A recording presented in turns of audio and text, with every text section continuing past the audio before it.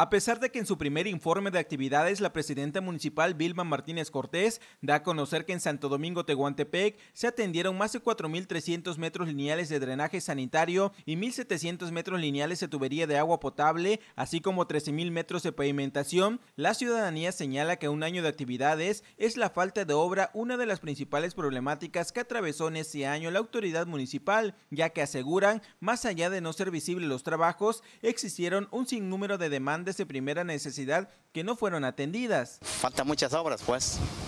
Sí, falta, digamos, este, por ejemplo, aquí en la parte de Quichevere, donde estamos viviendo, pues hay una parte de la calle que está muy feo, pues, y pues no, no, yo veo, yo no veo este obras, pues.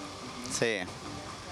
Pues, si hubiera, digamos que estamos viendo obras, pues si quieren no tal parte está una obra, tal otro este, pero como yo lo veo muy pocas obras, pues. Sí. Yo en lo personal no he visto ningún cambio. Es igual. Lo malo que donde se enfocan es en el, palacio y el parque. Es donde se enfocan todos, en los parques. Porque los barrios, si ves la Juan Romero, lleno de baches.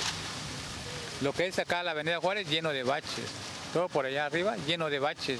No hay, no hay, no hay, no hay ningún cambio. Es lo mismo.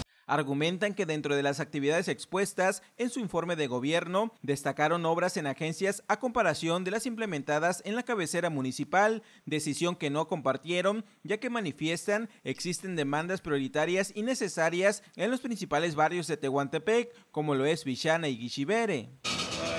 Pésimo.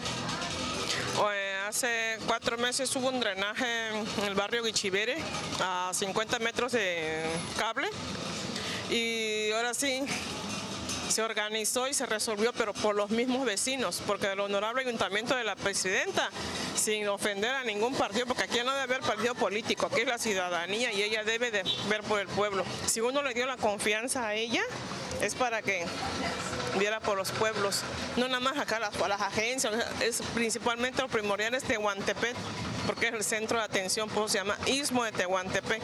Con imágenes de Marco Martínez, informó para Mega Noticias, Noé Nolasco.